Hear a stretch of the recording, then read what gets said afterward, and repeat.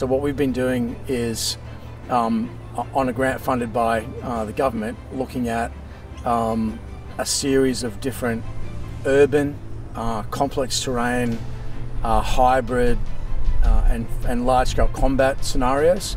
And we spent most of a month uh, last um, March, April going through uh, five different vignettes in a synthetic city called Arcaria, which is a NATO product, where we essentially were um, testing in a tabletop environment the key features of what a future uh, Australian battle group is going to encounter when it gets into that remote autonomous systems environment. What we're doing now is doing some human experimentation to build on uh, the tabletop work we did last year. So it was an autonomous systems war game that's focused on a couple of things. It focused on the utility of autonomous systems for tactical and operational use by Australia and like-minded nations, um, but also then to look at the, uh, the ethical challenges of how, uh, how you would operate such autonomous systems if you gave them true autonomy to make decisions on the battlefield. So I was the battle group commander for the Blue Force battle group. So I am a battle group commander in the Australian Army and I brought my planning team down to uh, plan five operational missions uh, for University of New South Wales to test those concepts.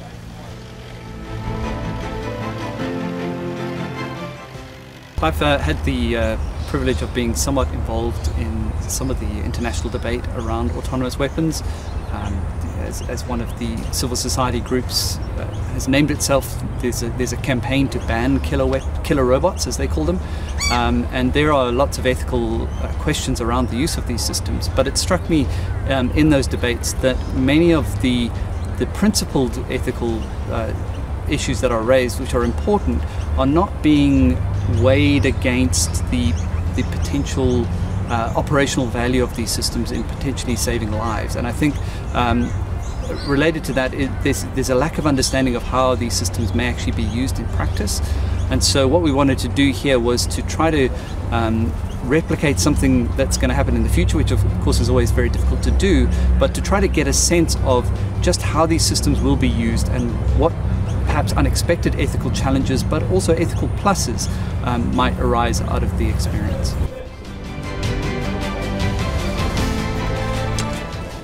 My name is Dr. Michael Creagh. I'm CEO and founder of Skyborne Technologies. And what Skyborne Technologies is all about is providing aerial fire support for the dismounted combat level.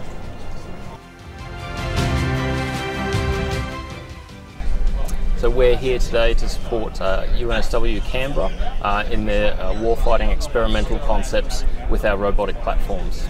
Uh, the future for these sorts of robotic platforms is really exciting. We don't know exactly where it's going to head.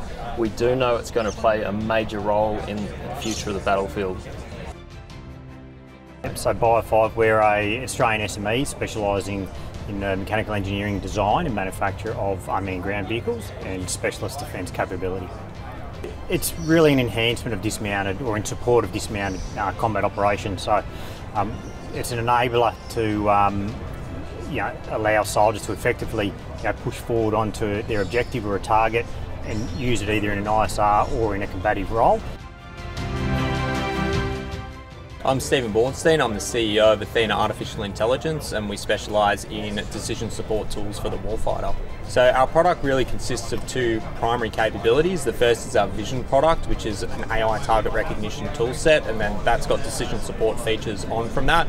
And then our second product is our geospatial product, and that combines digital terrain elevation data as well as satellite imagery, and we use that for intelligent path planning for robotics and autonomous systems, as well as optimal site placement for static-based assets such as uh, air defense systems, uh, ambushes, javelin missiles, and so on. So we have been working for a couple of years now to try to understand a bit better the impact of uh, robotic and autonomous systems on warfighting at the tactical and operational level. We're interested in the ethics of how um, AI and other advanced autonomous systems are going to, uh, you know, be employed on the battlefield. But we recognise that in order to make sensible judgments about that, you've got to have an understanding of how those systems will be employed.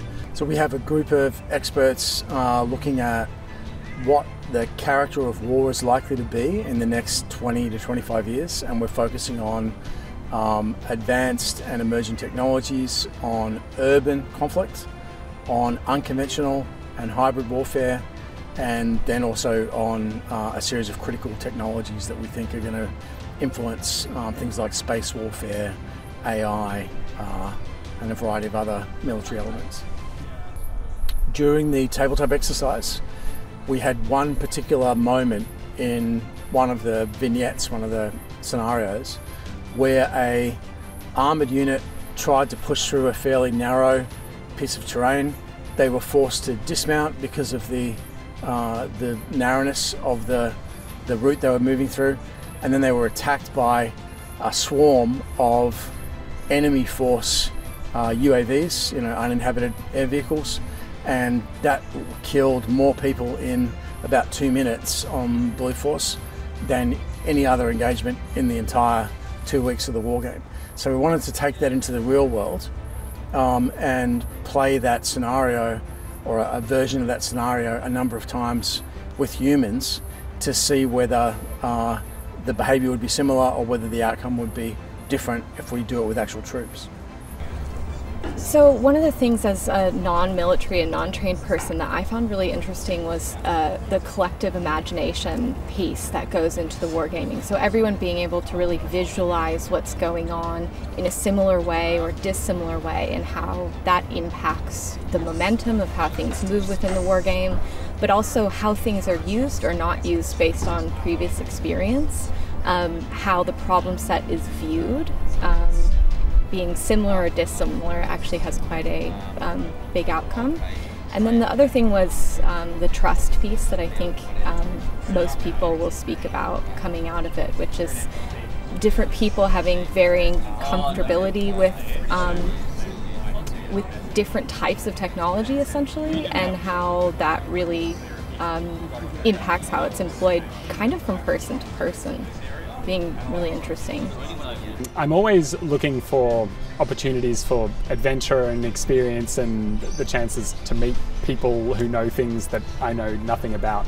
And in this case, um, I was contacted about a year ago about the, the possibility of writing a, um, a futuristic military thriller that would showcase some of the research into potential future military conflicts um, being done by UNSW and ADFA and uh, ideally get some of that research to a broader audience beyond the people who only read nonfiction or only read academic texts.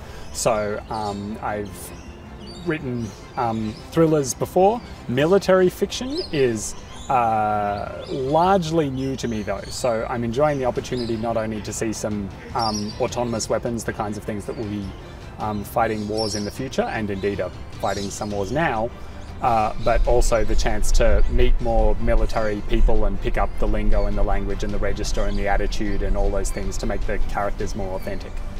Yeah, at the moment, as a role player, you got to experience what it is to be observed by an autonomous, semi autonomous system that's hanging in the sky and that has lethal capabilities that can really shoot at you. That was a quite frightening thing because with a human, maybe you can talk, maybe it can hear you, but with something that's hanging over you, it has seen you, you know it can launch a grenade at you. That makes the game a bit different. There are, there are different ways to, to think about the ethics of war, and, and it, um, people do do differ. And I do think of it as about trade-offs to some degree. I think um, the for me, it's the, the just war tradition is trying to navigate a, a very tricky path between two realities. One is that war is terrible, um, and the other is that war is sometimes necessary. And if we if we pull too far on one side or the other, we either make it impossible to fight wars that need to be fought, or we, we fight wars in a way that allows too much um, unnecessary death and destruction. And I do think that that's what we're trying to to understand better in this project is where that central line is, where that, that very narrow path that balances those two realities actually lies.